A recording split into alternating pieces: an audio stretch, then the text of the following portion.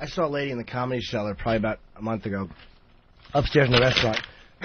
she was the, the most awful looking person I've ever seen. Really? She had it looked like her. She looked like a scream mask. Her mouth Holy Jesus. looked like it was three or four inches, maybe two inches wide, with buck teeth, and it looked like someone had taken her face and stretched it like taffy and then caved it in. It was like it was like a half a parentheses almost. It was the Wow. her chin might have been an inch wide.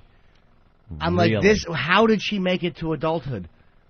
And who who is her friend out with her, pretending that yeah, it's nice to just have coffee with you and look at that awful face.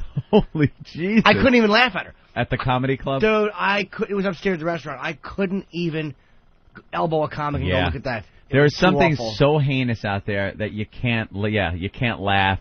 I can't even look sometimes. No. It's really horrible when you, you, and they sometimes get you by surprise. You're just wheeling your shopping cart at the supermarket and you turn down an aisle and you're staring horror right in the face. Like, oh my god, what happened?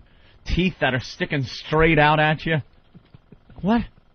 What happened? I really want to take this one home and bang her, just out of mercy. Put it in that awful mouth. Yeah, just we'll just caress that bent face and little tiny chin. Caress old tiny chin. and when she gets you a little tear in her eye because somebody is finally holding her the way she wants to be Oh, held, no. you drill your fist into her face and go, "Now get out, ugly." You just. Oh, you're horrible. You're just not oh, nice. God.